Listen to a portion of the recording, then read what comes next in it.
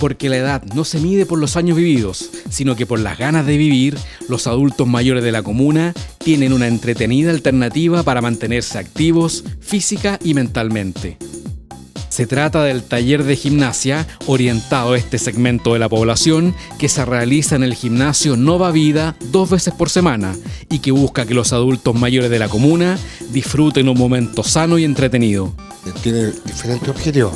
Dentro de eso, aumentar los rangos de movilidad articular, flexibilidad, eh, mantener la tonicidad muscular, ya porque con el tiempo se va perdiendo. Dan deseos de venir y de levantarse temprano, porque en este tiempo que hace tanto frío, pero dan deseos de venir.